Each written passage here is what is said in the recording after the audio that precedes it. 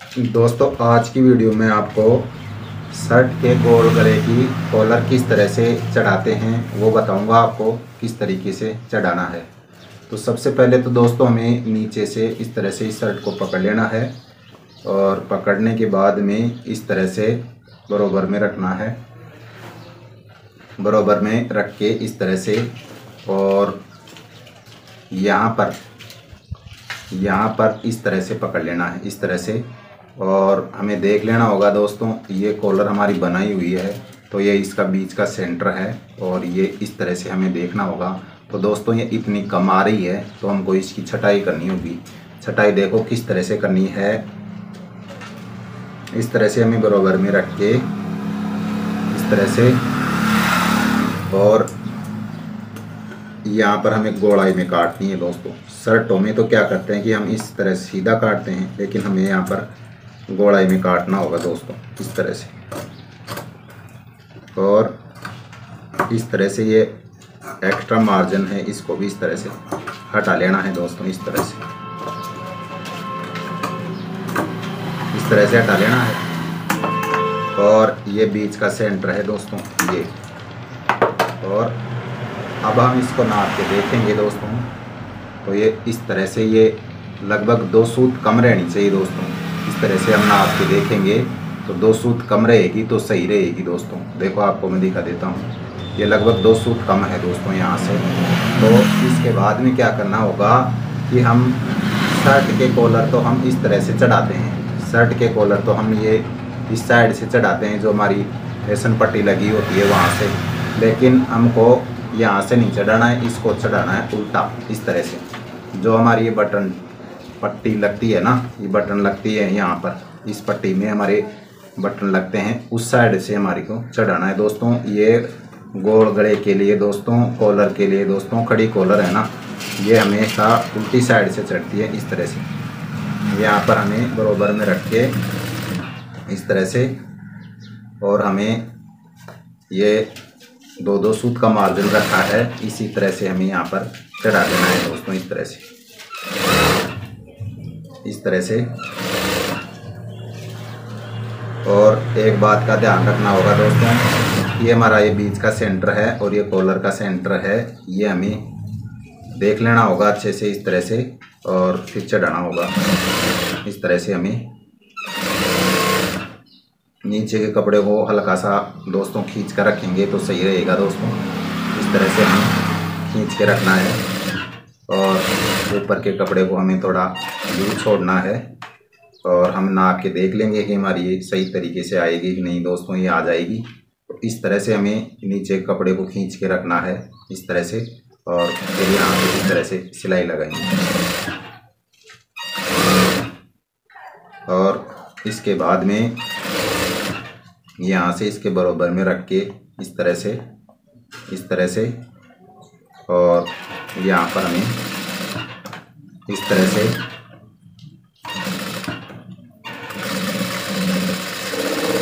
इसकी जड़ में सिलाई लगा देनी है। देखो दोस्तों, मैं आपको दिखा देता हूँ। हमारे को इस तरह से यहाँ पर सिलाई आनी चाहिए, दोनों साइडों में इस तरह से। इस तरह से हम लगाएँगे तो हमारी ये, इसको टाँकी बोलते हैं, अच्छे से बैठेगी दोस्तों। और इसके बाद में क्या करना होगा कि हमको इसको अंदर दे देना होगा इस तरह से।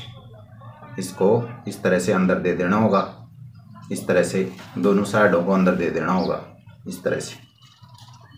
इस तरह से अंदर दे देना होगा और इसके बाद में फिर हमारी को सिलाई चलानी होगी।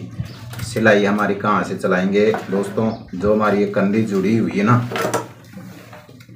ये हमारी कंधी जुड़ी हुई है, यहाँ से चलाना है हमको इस तरह से और ये इसके किनार किनार चलाना है। इस तरह से।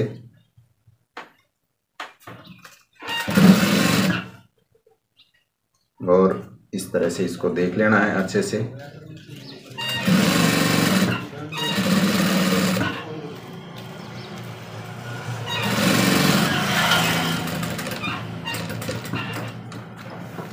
तरह से इसको घुमा लेना है और घुमा लेने के बाद में दोस्तों यहाँ पर हल्के हल्के मशीन को लेना है इस तरह से। और इसके बाद में हमें इसके किनार में इसी तरह से चलानी मशीन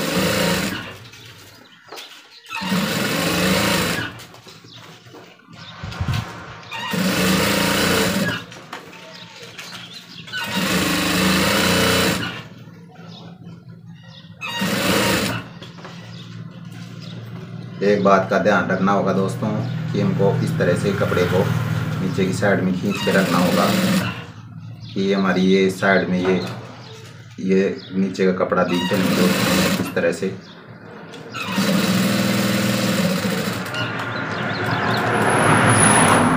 और इसके बाद में इस तरह से हमको इस मार्जिन को अंदर दे देना है, इस तरह से। और हमें अच्छे से कैंची की सहायता से ही इस तरह से बना लेना है इसको। इस तरह से अंदर दे दे रहा है और अंदर देने के बाद में दोस्तों, यहाँ पर इस तरह से हमें सिलाई लगा लेनी है और इस कपड़े को इस तरह से खींच के अच्छे से, इस तरह से। जो ये हमारी सिलाई है, ये अंदर की साइड में रहनी चाहिए, दोस्तों, बाहर नहीं दिखनी चाहिए। इस तरह से हमें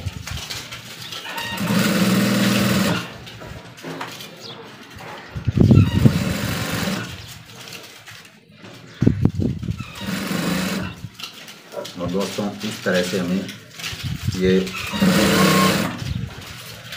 इस तरह से हमें कपड़े को खींच के, इस तरह से मार्जन को अंदर दे के, इस तरह से